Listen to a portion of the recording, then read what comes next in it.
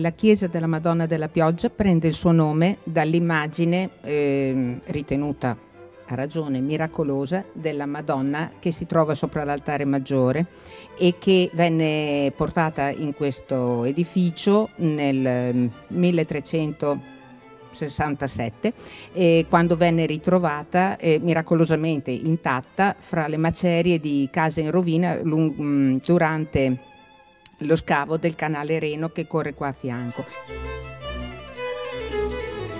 Miracolo più importante che eh, la designò proprio come Madonna della Pioggia fu quello che fece nel eh, 1561 in occasione, nell'estate in occasione di una um, siccità terribile che stava rovinando tutti i raccolti, allora venne fatta una grande processione, portata in processione lungo le mura della città e ehm, in quel caso ricominciò a piovere, piove abbondantemente per molti giorni dopo.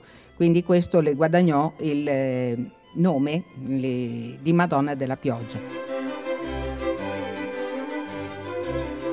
Il santuario aveva anche una vita parallela per un certo periodo perché essendo nato nel 1200 circa come oratorio eh, e anche per punto di sosta per i pellegrini che andavano a Roma, venne poi ampliato come ospedale per i poveri e poi in seguito a pestilenze anche, che avevano decimato la popolazione anche come orfanatrofio e quindi la Madonna della Pioggia è sempre stata mh, importante per i bolognesi sia come punto di soccorso per i poveri bisognosi e poi in seguito aumentò come eh, venerazione di questa eh, sacra immagine.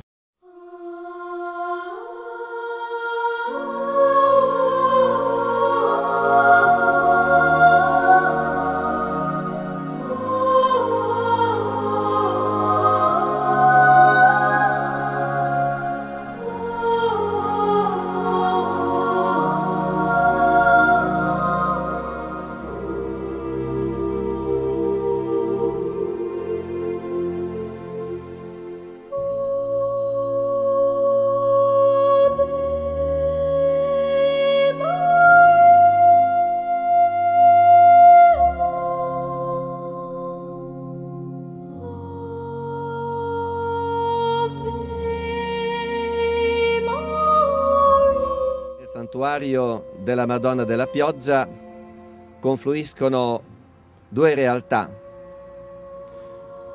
che si integrano e che si arricchiscono a vicenda. Da una parte la vita del santuario che la diocesi ha affidato alle suore missionarie di Cristo Re e la vita liturgica della parrocchia. Perché dico vita liturgica? Perché nel 2012 il terremoto ha reso inagibile la chiesa in attesa di restauro.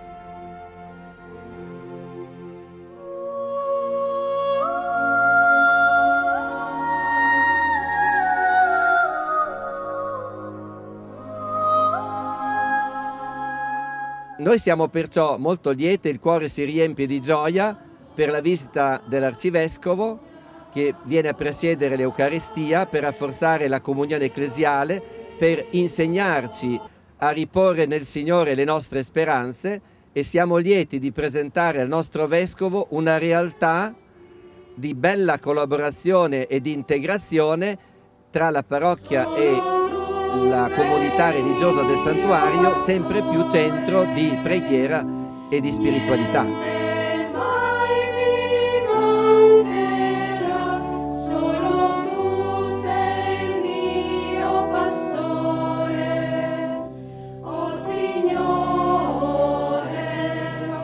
Misericordia la pioggia. E ci sono tanti cuori aridi, aridi perché soli. La misericordia non è, eh, come dire, ti do qualcosa, eh, ma io sto da una parte e tu stai dall'altra, vuol dire che mangiamo assieme.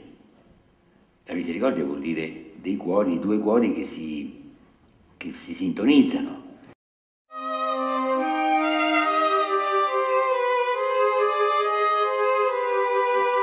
Siamo arrivate dalla Polonia. Qui in santuario mm, il nostro servizio si svolge da sette anni. E quello che mm, facciamo in santuario eh, cerchiamo di, di tenere eh, la chiesa sempre preparata, pulita eh, e anche, soprattutto quello che è importante, la devozione della Divina Misericordia che si è sviluppata questa devozione da un anno mm, nella maniera molto, eh, molto attiva.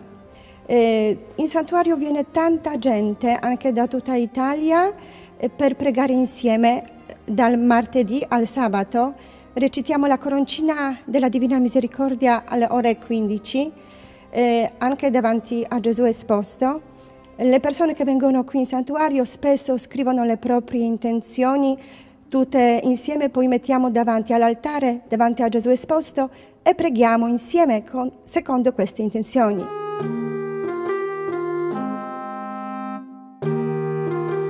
Frequentare il santuario mh, mm, mi ha aiutato in alcuni momenti molto difficili a potermi affidare a qualcuno più grande di me, a non avere l'impressione di dover prendere io delle decisioni molto difficili e a vedere che affidando i miei problemi al Signore e alla Madonna, molte volte questi problemi si risolvevano, si risolvono da soli. Nel nome del Padre e del Figlio e dello Spirito Santo. Preghiera nell'ora della misericordia. Siamo nell'anno della Divina Misericordia e siamo molto contente che proprio questa devozione eh, ha trovato anche eh, il suo successo qui in santuario perché da un anno che eh, la vediamo la coroncina anche in eh, tutta l'Italia su eh, TV 2000 che ogni giorno trasmette la coroncina. Tramite questa, eh, questa, preghiera che è stata registrata qui in santuario stato anche conosciuto in tutta Italia eh, e per quello siamo molto contenti che le persone possano eh, conoscere il santuario e vengono poi personalmente a vederlo.